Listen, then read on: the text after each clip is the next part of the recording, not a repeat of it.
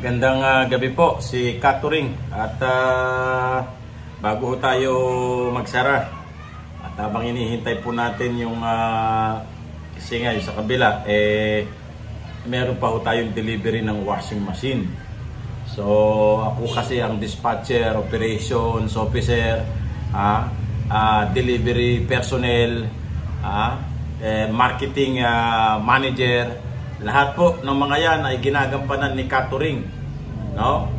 So, yung rider natin kanina, eh, umabsent dahil uh, nalasing daw. Pero, everything ay uh, still in smooth flow. Eka nga. Ha? Yan. Dapat ganyan tayo ka-versatile. Eka nga, no? Sa, and then, everything, we can assume everything. Ah, pero siyempre, it's, it, hindi naman practical. no? At hindi rin naman uh, healthy na lahat na lang ay sa iyo. So, as part of uh, ika nga ay uh, growing business and as part, as part of my uh, our objective brother in putting up a business like this, kailangan mag-employ din po tayo. Uh, let's share the blessing. Let's share the blessing ika nga. But meanwhile, habang gumagapang pa itong ating uh, pwesto, Ah, at uh, busy pa nasa nasa estado pa tayo talaga ng uh, ika nga ay uh, introducing uh, your store uh, your uh, LPG store in the community eh, kailangan uh, mag-adjust din tayo sa mga gastusin. So tumutulong tayo dun sa kabila na nagdi-dispatch and everything, sumasagot sa mga telepono, lahat po 'yan. Okay? Uh, ngayon po ay sasagutin po natin, uh, babalikan po natin at bibigyan po natin ng uh, uh, kasagutan. Yung po mga ilang uh, ika nga nakaligtan po nating sagutin na mga uh, kasamahan po natin na magtatangke na umihingi sa atin ng mga uh, ika nga payo uh, o umihingi sa atin ng opinion. Yun. Hindi naman not necessarily payo, no? But uh, humihingi sa atin ng opinion. Ah, so sasagutin po natin katulad ho ng uh, tanong ni Jovin uh, Sapul. Ah, shout out sa iyo Ginoong Jovin Sapul ng Antique. Ah, maraming salamat po sa iyong uh, uh, pagdalaw sa atin pong YouTube channel. Ah, sana pinanood mo yung pinanood niyo lahat po yung ating mga videos. Marami po tayong mapu, mapupulot doon ng mga uh, hindi naman masyadong uh, importante pero kahit papaano ay makakapulot po tayo ng mga ilang tips po doon sa daily operations ng ating eka nga ay uh, uh, pag-run ng ating business sa uh, pagtatangke o LPG. Uh, ang tanong po ni Jovin uh, Sapul ay ganito, magkano raw ba ang kitahan o kikitain sa isang 11 kilogram, etc. Ah, ginoong sapul wala namang standard ano po. Uh, na, wala naman pong standard na pwede kong sabihin sa iyo na ganito ang kikitain mo. So depende po sa iyong uh, ano yan no, ang uh, uh, mga gastusin uh, sa isang uh, tangke for example. So ngayon, tayo po ngayon ang ang, ang, ang atin pong ang premise po ng aking uh, opinion sa iyo kung magkano kikitain ay ganito po no. So since tayo po ngayon ay nasa ilalim na po ng 11592 na kinakailangan po ay branded ang ititinda natin. So normally ang mga brand po ay nagtatakda ng tinatawag na standard retail price ha? o SRP. So doon sa SRP na yon kung kayo po ay talagang uh, lihitimo na kumukuha kukuha sa brand eh magtatakda po yan ng SRP. Ang ibig pong sabihin nun, ito po ang magiging presyuhan. Alright? So, sa makatwid, doon po sa SRP, malamang magbabawas po sila at ibibigay naman sa iyo, let's say, 40 to 50 pesos sa isang tangke na kikitain mo. Ah, diba? Ngayon, ang tanong, payag ka ba sa 50? Kasya na ba yung 50? Ah, natutugon doon sa iyong uh, eka nga mga expenses. Ah, Uh, example, eh, mag-deliver ka. Ano, magkano ibibigay mo kay rider sa isang tangke? Bibigyan mo ng uh, ah, 3 pesos ba o 5 pesos? O, baka ipakulam ka na ng rider mo, di ba? Something like that. Ganun po yung mga pwede nating pagbasihan.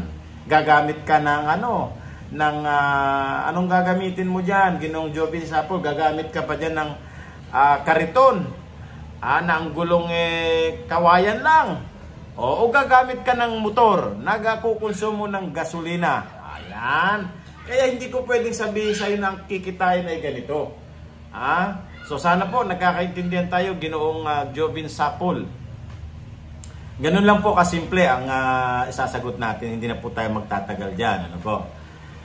Eh ngayon, ang, ang second question niya, meron daw siyang kilala na parang siguro LPG company, pwede raw ba siyang maging reseller? Oh, bakit hindi? But provided, you must also be compliant, whether one tank, two tank, three tank, five tanks, for as long as you are engaging into business, kinakailangan nyo po ay uh, siyempre kumuha o ng inyong business permit. No? Uh, at kumuha po kayo ng lisensya o tinatawag nating license to operate doon po sa Department of Energy. Ano po ang requirement catering? Balikan nyo na lang po yung mga videos natin at iba pang mga vlogger na nagsasabi, no? Marami yung mga requirements, okay?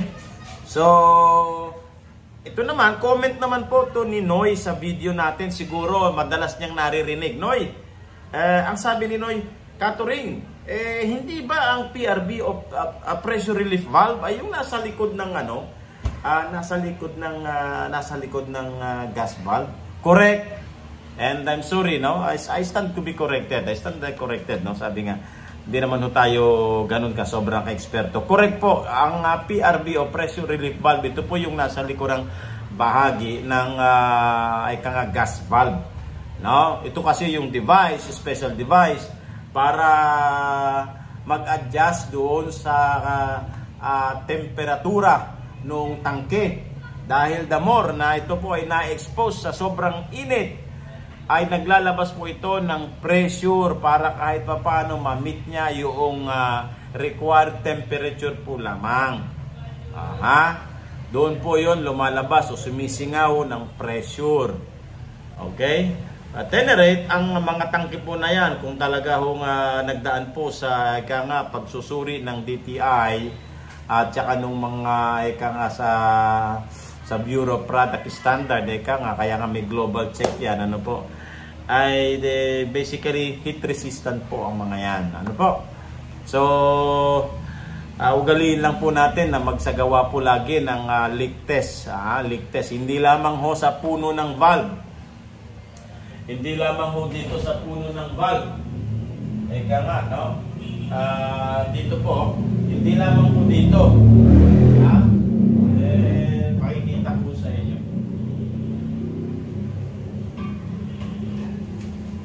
Yung binabanggit ni, ni Noy.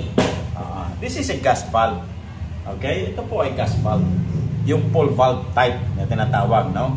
Yan ang gas valve. Para siyempre uh, mag-maintain, mag-reduce, magdagdag ng pressure na kinakailangan eh, ka nga i-control ng regulator. Then, ito naman po, sa likod po nito, sa likod po nito, ito po yung outlet, ano? Uh, labasan niya. So, sa likod po nito, ito yung dito, sa likod po niyan, ito po yung pressure relief valve na tinatawag. Makikita nyo dyan para may screen. Ah, so, yan po ay uh, safety device po niya talaga para i, i, i ano no, uh, maging ano siya sa temperatura. So yan po ay uh, safety mechanism device po ng tangke. All right. Uh, ano pa? So may tanong pa naman dito. Si Mr. Jose Arnel Sales. Ang tanong niya, eh, Katuring, hindi naman pwede na lahat yang lahat ng mga generic nila ay papalitan namin. Ang dami ko ng pinalitan na generic. Eh, na, pinalitan ko ng branded.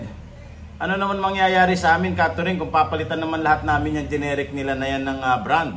Eh, kami ba, eh, magkakaroon din ng, eh, ka nga, pwede ba kami magpapalit doon sa mga shopping center kung sakasakali na may makapag-designate na, makapaglagay na talaga ng mga swapping center. May babalik ba sa amin na kayong ano? Okay, so eh Ginoong Sales, ano, shout out din po sa iyo, ganun din kay Noy. Shout out po sa inyo, marami din pong salamat sa inyong eka nga pagbisita sa ating channel. Ah uh, ako po uh, natutuwa no eh, kahit pa paano nasasangguni niyo rin po eh ganito po 'yon ano po? Uh, sa akin ha sa akin wag ko kayo mag-ipon ng generic. Huwag niyong ipunin yung generic. At uh, ang inyo pong pagsuswap sa inyo no sa level in exchange mag-exchange po kayo eh. Ah titignan niyo po yung tangki ng suki ninyo o tangki ng customer.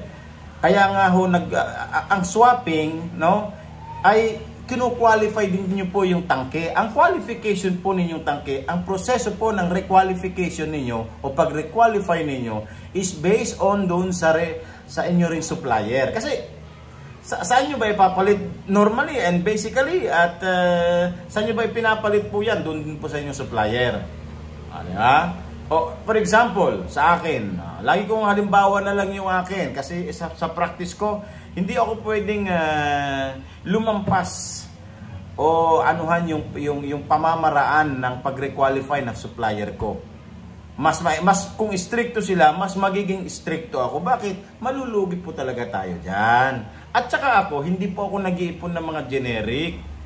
Uh, right away, pagka qualified yung tangke niya, okay may mga issue, ah, eh, sinacharge nga tayo eh. Alam niyo naman yan, di ba? Sinacharge. Anong gagawin mo kay customer? Hindi mo siya i-charge. Oh, at saka bakit mo ipunin yung generic? Ngayon pa lang, ipalit mo na agad kay supplier. Palitan mo na agad. Huwag na nating ipunin yan. At saka, Ginoong Sales, hindi naman ho tayo papayag na tayo ay malugi. Ano po? Eh, si Catherine po, anim na buwan pa lang sa industriya.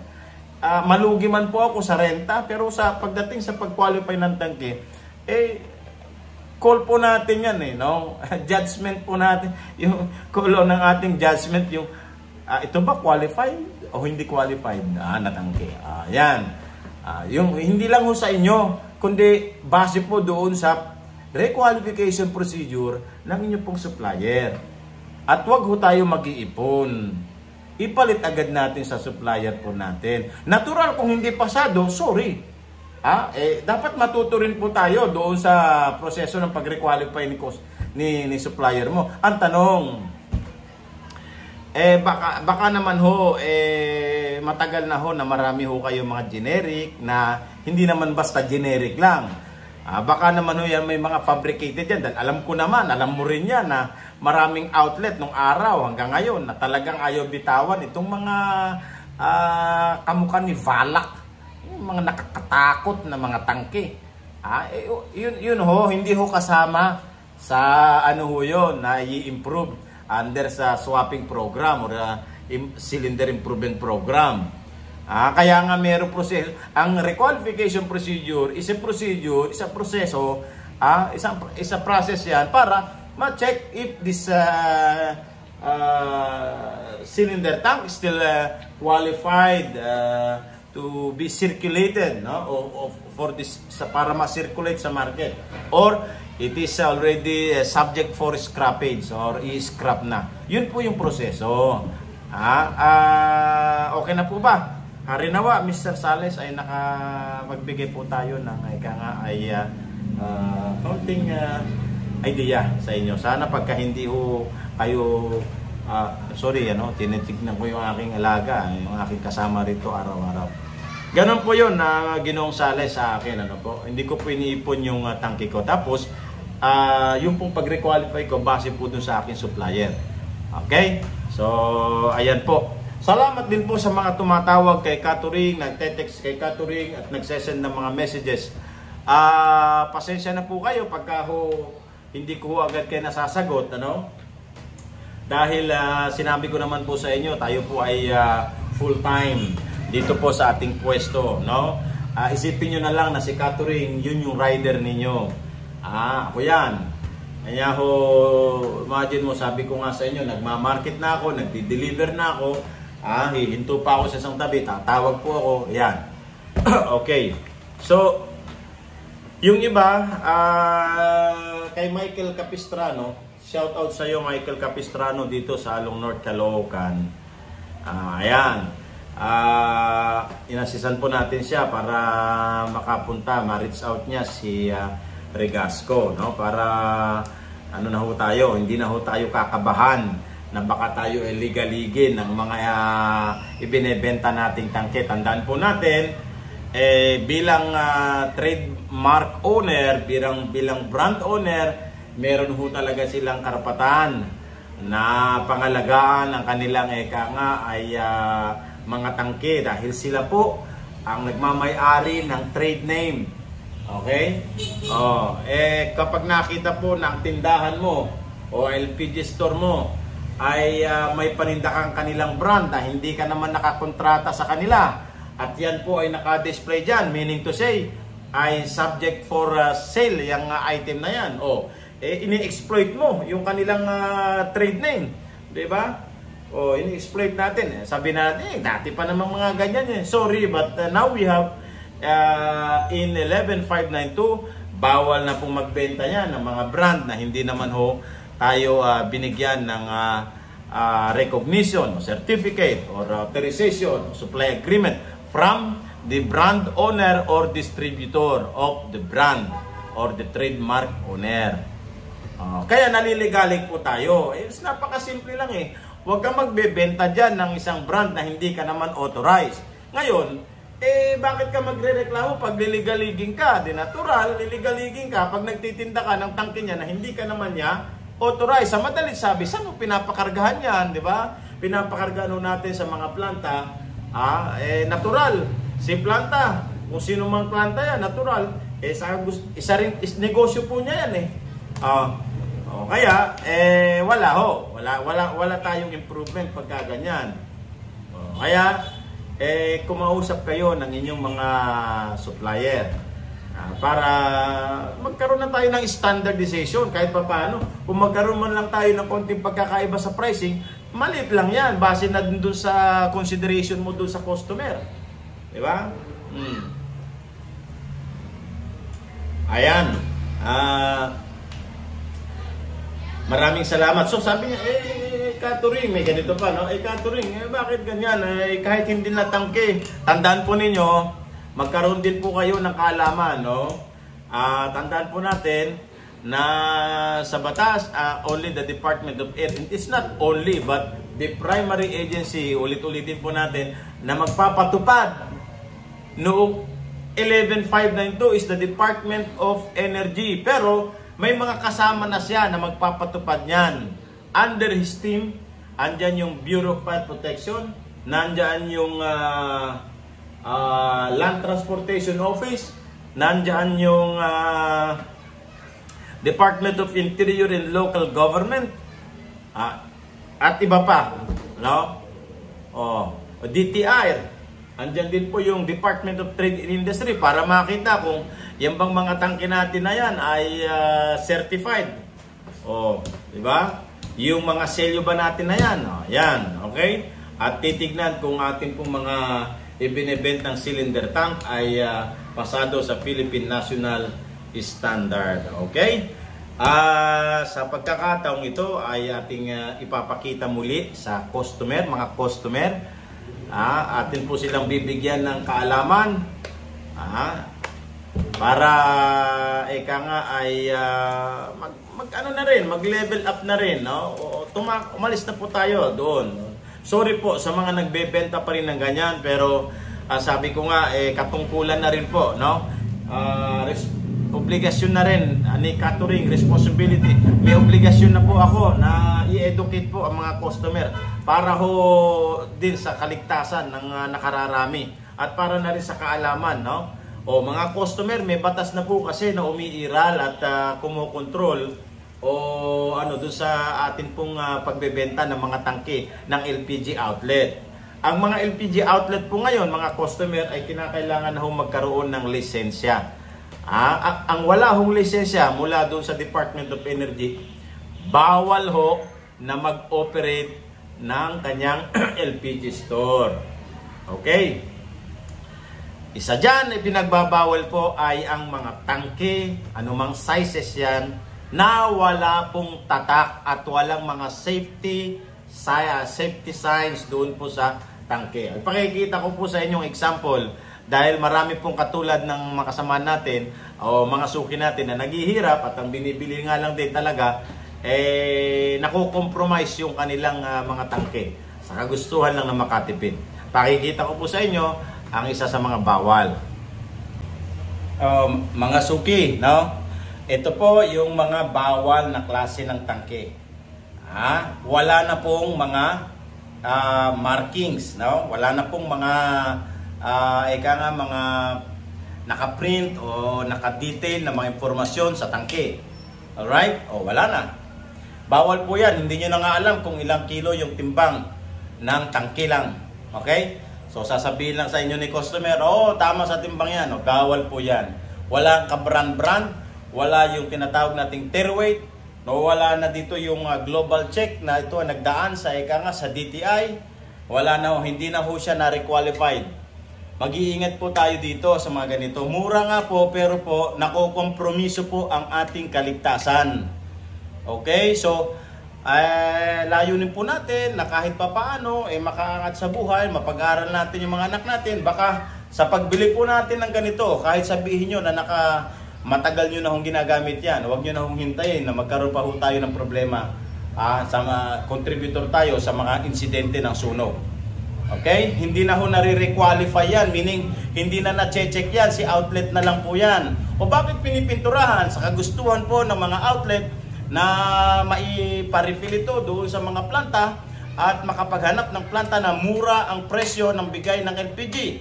O pero nako-compromise po yan. Ha? O, bawal po yan. Pakikita ko pa sa inyo. Ano po? Oh, ganito po, wala na ring tatak, wala na ring pangalan, kung ano bang class, ano bang brand yan. Oh, ayan, dugyot pa, ha? Dugyot. Gusto niyo ba ng dugyot? Ayan, oh. Oh, hindi niyo na na-check yan, di ba? Oh, samantalang kapag merong merong may brand o may company na responsable para sa pag-maintain ng tangke, hindi kayo mamumroblema. Oh, ayan, pininturahan na lang yan. Okay, so bawal po yan. Bawal na po, illegal na po ito. The mere fact na pininturahan ng tangke ng ganito na wala na, bawal na po, illegal na po. So si customer is also engaging into illegal uh, outlet or illegal refiller. Ayan. Okay? Oh. Eh siya, Katuring, ano po? Eh, bigyan kita ng halimbawa. Oh, example, ito. Uh, kunin natin pa rin natin. Oh, ayan. Oh, 'di ba? Oh, ayan makikita mo. LPGMA, pinturado rin, natural. Pinturado pero nandiyan yung mga information na necessary and mandatory under the law. Oh, ayan yung TW o tear weight. Ah, andyan kung ilang kilo yung tangke. Oh, alam mo ngayon, 'di ba? Dapat 2.7 ang laman nito plus the 3.8. Oh, ano pa? Oh, ayan nakalagay oh. Warning, do not accept when if seal is broken. Meron ba yung pinakita ko sa inyo kanina? Wala, di ba? Oh. oh, ano pa? Oh, ayan pa yung requalification date. Ah? Uh, June uh, 20, uh, 30 ano to? June uh, 2032. Oh, imagine mo. Ha? June 2032 pa ang uh, expiration o next requalification nito. Kasi ho, uh, sa batas po, no, sa safety, no, sa safety procedure, sa safety po, uh, yung requal after no pagka pagka-fabricate po ng tangke is 10 years po ang kanyang requalification. Next next requalification after the requalification every 5 years na. Okay? Newly fabricated. Kailan pwedeng i-requalify after 10 years? Pag na-requalify after 10 years, every 5 years ang requalification niya. Oh, ayan, di ba? Oh, ayan ngayon, LPGMA Supreme Kalan. Andyan din pati yung net content. So, ayun po yung global check oh. Ah, yung Bureau Product nakalagay check tapos Bureau Product Standard. O ibig sabihin, nagdaan po ito sa uh, ano ng DTI BPS, no? Uh, nagdaan po sa, pumasa po ito sa Philippine National Standard sa madalit sabi. So imaginein mo, yung mga tangki mo wala, hindi ho eh. Ando na lang yan kay outlet, pinaiikot, pinaiikot niya na lang yan. Di ba, na, kung napansin ho, yung iba, tinatapalan ho ng bubble gum, tinatapalan ho ng mga adhesive, tinatapalan kung ano-ano na lang. Tapos pipinturan, hindi nyo na ho alam, konting galaw lang ho, konting bagbag lang ng tangke ninyo, sumisirit na po, sumisingaw. Delikado po yan, lalo po at nasa loob lang kayo ng kusina. Ha? Oh. Ayan.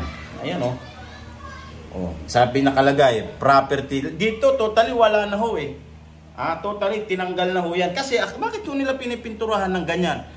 Yun nga po, ang takot sa takot po, ng akala ho ng mga ng mga ah, mga tungaw na ano no, basta pininturahan, wala nang pananagutan at pwede nang paripil sa iba. Mali ho yun. The mere fact na wala pong brand, the mere fact na yan ay wala nang tatakyan, bawal pong iparefill. Ah, ganun lang po kasimple yon. So harinawa, si Katuring ay nakapagbigay na naman sa inyo napakalaga impormasyon ngayong gabi. Magandang buhay po sa ating lahat at uh, hariwan na lagi po tayong nasa ah, ligtas no? sa araw-araw. Magandang ah, gabi po.